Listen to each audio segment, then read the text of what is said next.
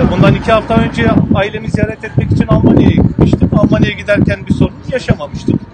Ancak dün e, akşam dönüşümde e, hakkınızda yakalama kararı var. Dolayısıyla e, sizi tutuyoruz dediler. E, açıkçası e, hakkımda birçok açılmış e, dava var, devam eden davalar var, soruşturmalar var.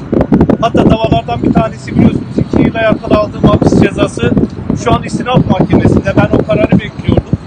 E, tam o kararı beklerken bu böyle bir yakalama kararını e, biraz sürpriz e, buldum. Sürpriz karşı sürpriz karşıladım.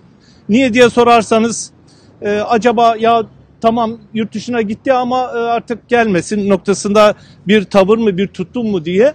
E, ben yurt dışında yaşamak istemiyorum arkadaşlar. Bedeli ne olursa olsun bu ülkede e, sanat yaptık. Bu ülkede barış için, kardeşlik için şarkılarımızı söyledik. E, cezaevinde de olsak burada yaşayacağız. Burada yaşamımı sürdürmek istiyorum. Dolayısıyla sürgünde e, yaşamak, sürgünde e, ne bileyim ahlanıp bahlanmak istemiyorum. E, bu ülkeyi seviyorum. Bu ülkede her şeye rağmen bu ülkede yaşayan bütün insanları seviyorum. Şimdi bu durumla hakikaten sevinsem mi üzülsem mi ben de anlam veremedim. Çünkü e, iki ayrı dava bir tanesi örgüt üyeliğinden bir tanesi de örgüt propagandası. Avukatımız açıklayacak. E, ama bir tanesiyle ilgili bir şey söylemek istiyorum. Sur'la ilgili e, yapılan bir basın toplantısı örgüt propagandası sayılmış. Sur'da hakikaten büyük bir yıkım yaşandı. Savcı Bey'e bugün onu söyledim. Tarihsel yıkım karşısında herkesin duyarlı olması lazım. Hele hele bu ülkenin sanatçıların bu konuda duyarlılığını örgüt propagandası olarak yansıtmak yazıktır. Bunun yapılmaması gerekir. E, dolayısıyla ben de e, yani Munzur'u nasıl savunuyorsam, Hasan Keyif'i nasıl savunuyorsam Sur'u da, Sur'daki yıkımı da bu şekilde karşılamış ve bunun kabul edilemez olduğunu söylemişim.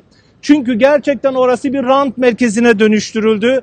E, kadim bir kültür, kadim bir tarih yok edildi.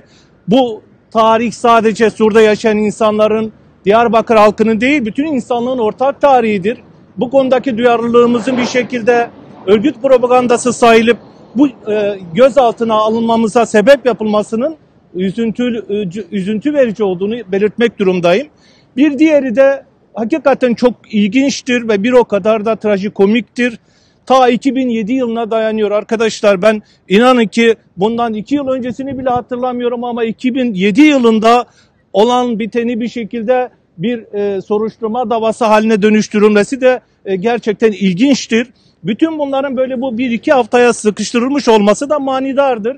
E, Mezopotamya kültür merkezine dönük bir kriminalize etme çabasının olduğunu görüyorum. E, ama yani 27 yıllık bir kuruluştur. Bu kuruluşla olan ilişkimin bir şekilde e, farklı yansıtılması e, e, hakikaten kabul edilemezdir.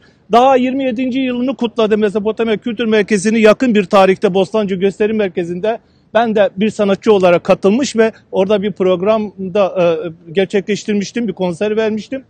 E, evet nerede tutarsanız tutun arkadaşlar üzücü hukuk adına gerçekten bu ülkede duyarlı insanların, sanatçıların, bilim insanlarının, akademisyenlerin kendi düşüncelerini açıklayamayacak, iyi şeyler, güzel şeyler söyleyemeyecek bir duruma gelmesini büyük bir üzüntüyle karşılıyorum. Evet serbestim ama yarın serbest miyim değil miyim e, bunu bilemem. Bu ülkede düşüncesi olan, düşüncelerini ifade eden hiç kimsenin artık eskide olduğu kadar özgür ve serbest olamayacağı kesin. Ama dediğim gibi bu ülkede yaşamaya devam edeceğim. Dışarıya çıkmayacağım, sürgünlüğü kabul etmiyorum. Cezaevinde yıllarımı da geçirsem bu ülkede olacak her şey arkadaşlar. Söyleyeceklerim bundan ibaret. Avukat arkadaşımız belki daha detaylı bir şekilde size bir şeyler söyleyecektir.